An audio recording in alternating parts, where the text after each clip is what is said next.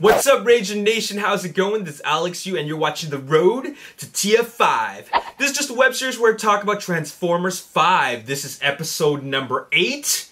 And what we're going to talk about in this video is we're going to follow up on that talk about what's going to happen to the future of the franchise and who's going to be directing and also who's not going to be directing. So there hasn't been a whole lot of news about who's going to be directing. So what I plan to do is narrow it down for you guys so that we can find out who's not going to be directing. Now, if you remembered in episode 7, we talked about the fact that Michael Bay's next movie is going to potentially be a, a military thriller okay? And it's not going to be Transformers 5. As a matter of fact, uh, this uh, solidifies the fact that Transformers 5 isn't coming in 2016. 2017 is more likely, maybe even 2018. I don't know, but I'm just letting you guys know that looks like Michael Bay is not on board to be directing Transformers 5 as his next film. So we can rule out the fact that Michael Bay won't be directing Transformers 5 for 20, 2016.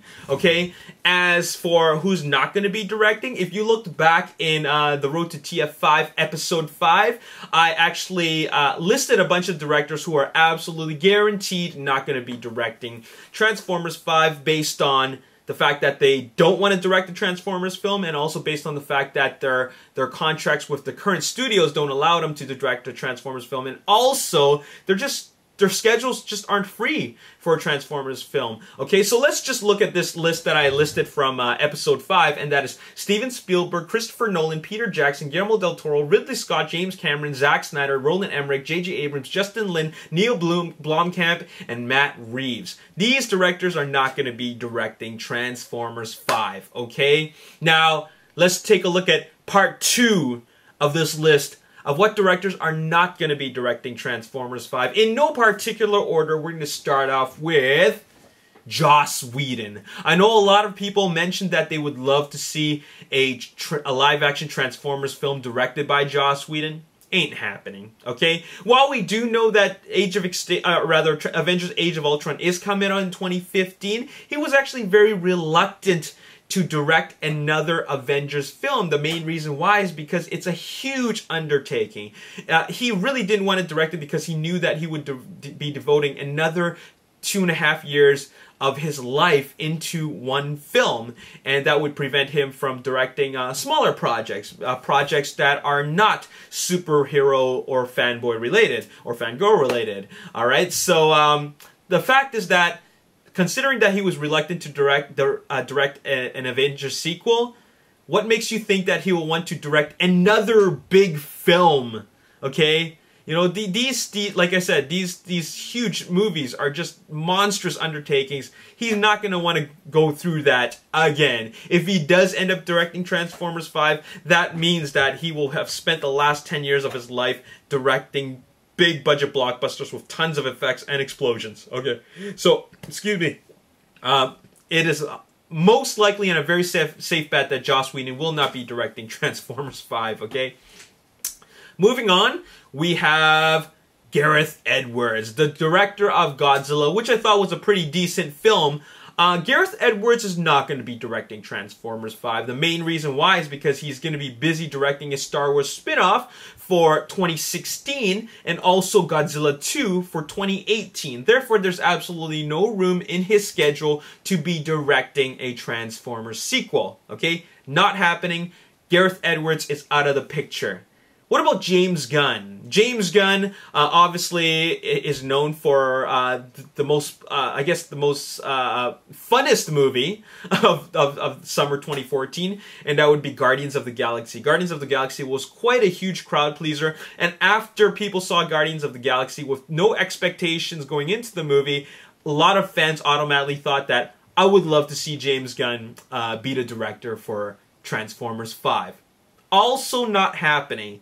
James Gunn uh, is having so much fun working with Marvel Studios. Uh, there's no way he will want to jump on board the Transformers bandwagon. No way whatsoever. He's so excited to work on Guardians of the Galaxy 2, which is coming out in 2017, and he's already thinking about what he could do for Guardians of the Galaxy 3 for Phase 4 of the Marvel Cinematic Universe. So there's no way in heck that James Gunn will be directing a Transformers sequel.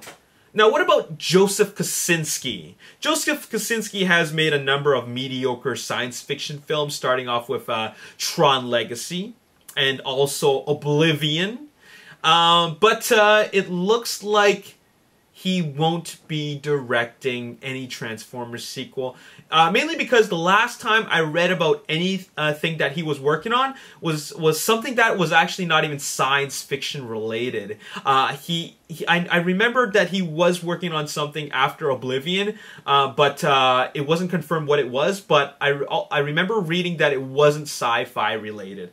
Okay, so that's what's going on. I mean, uh, uh he's going to be working on something like that, non sci fi related, for a little bit, and then apparently it's possible that he will be working on Tron 3. Okay, so that's what's going on with Joseph Kosinski. Now, what about Peter Berg? Peter Berg, uh, um, uh, he directed Lone Survivor, which I thought was a, an amazing film. Okay, um, but Peter Berg also will not be directing Transformers 5. He's he's not in the um, He's definitely not going to be directing, mainly because, uh, first of all, he has a uh, he has a a a, um, a contract with Universal, and it's just been announced that he will be working on a uh, remake of the Six Billion Dollar Man, starring Mark Wahlberg for a 2016 release. So that's the next movie that he's going to be working on, and he's going to be working that he's going to be working on that as soon as possible, considering it's going to be for a 2016 release. And by the way, you don't want Mark. I mean, you don't want Peter Berg working on a Transformers film. I mean, we saw what happened to uh, to Battleship. Okay.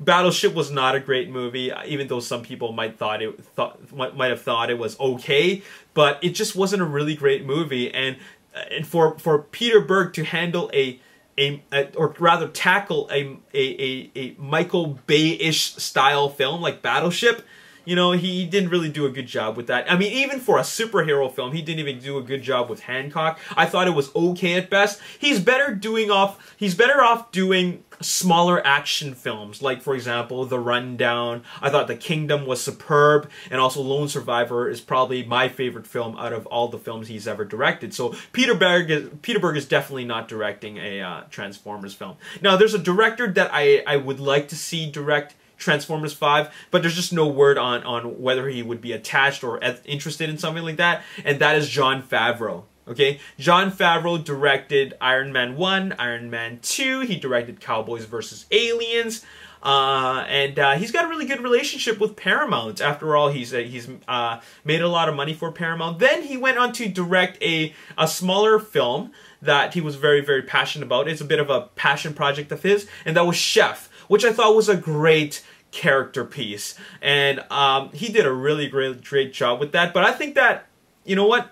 It's time for him to. I mean, he did his passion project. Now it's time for him to go back into directing uh, science fiction and fantasy films. And considering the fact that he's got nothing on a slate right now, I thought he would be a great candidate for a Transformers sequel. I'm hoping that Paramount Pictures reaches out to him and just says, "Hey, Jon, we noticed that you're not working on anything at the moment. Uh, you obviously aren't working with Marvel Studios, so therefore we'd like you to tackle our bigger, one of our uh, other popular franchises, and that would be Transformers. All right, what do you say?" So I'm hoping that Paramount reaches out to Jon Favreau and. Um, ask him to direct the Transformers film, and hopefully he says yes. All right, because I'd like to see him as a director for Transformers Five. I'd also like to see him uh, see J.J. Abrams to direct Transformers Five. You know, having J.J. Abrams is totally possible to direct Transformers 5. Once again, he's worked with Paramount Pictures a lot. And another thing is that he's got nothing going on after Star Wars. After Star Wars comes out uh, uh, uh in 2015 of December, there's nothing going on.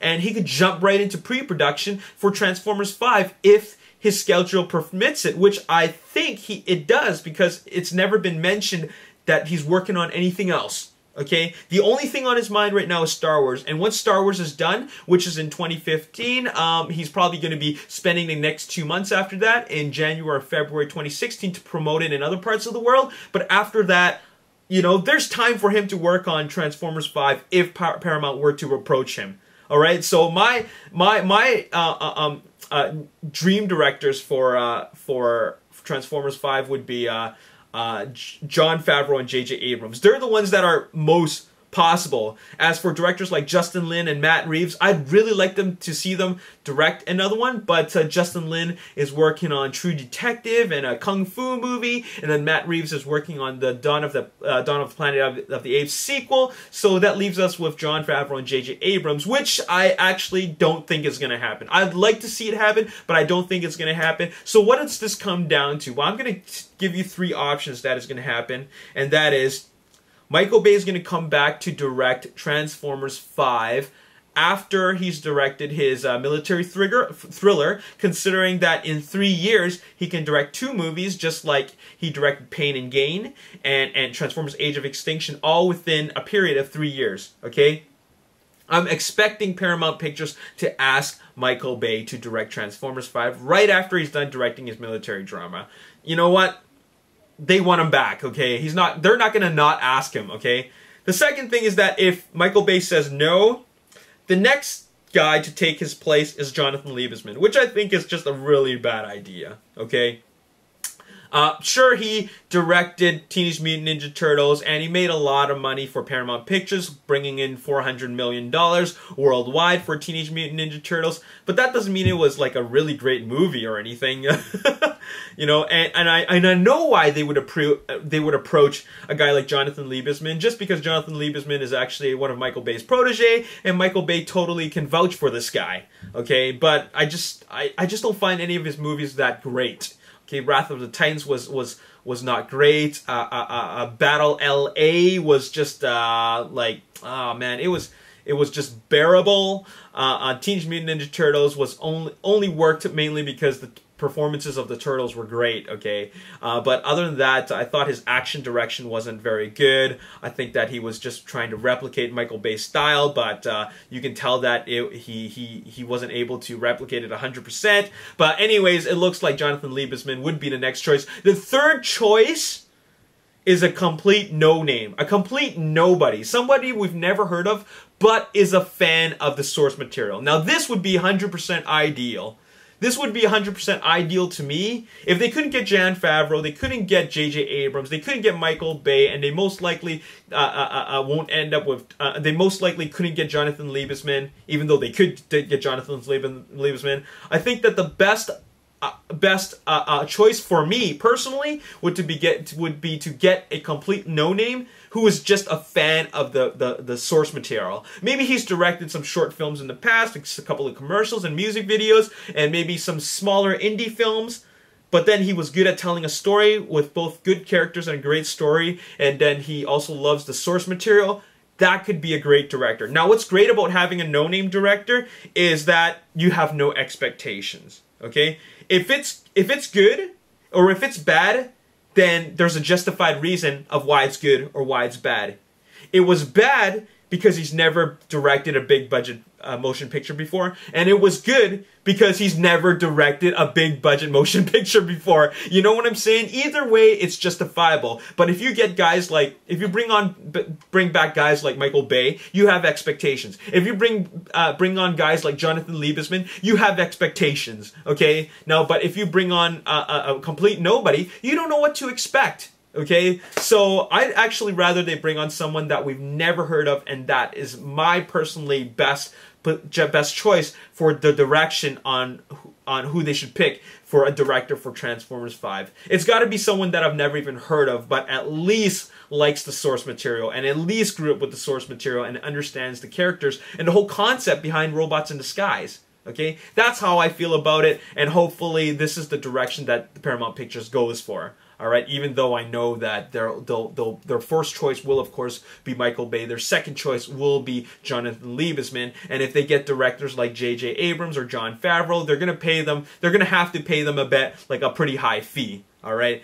So there you have it. That's all I gotta say in this video. What do you guys think? Um, I'm going to leave you with three options. Uh, what do you think is the best choice? Have Michael Bay back for Transformers 5, have Jonathan Liebesman back for Transformers 5, or have a completely new director to direct the fifth installment of Transformers. Let me know in the comment section below. Oh yeah, by the way, the poll is still going on. The poll on on on on uh, on, on the fate of who's going to be directing Transformers 5 and who's going to be taking care of all the creative duties uh, is is is still up. I want you to click on the link on the description box below and place in your votes because the poll is still active and uh, let's see where this goes. If we can bring any of the votes to five digits, we can actually make a difference. Okay, so uh, click on it. You can see where the results are standing at right now and to make your contribution. Alright, that's all I gotta say in this video. As always, if you enjoyed this video, hit the like button, subscribe to the YouTube channel, like me on Facebook, The Rage Nation, also follow me on Twitter, at Ragin Nation. My name's Alex, thanks for watching, I'll see you next time, peace.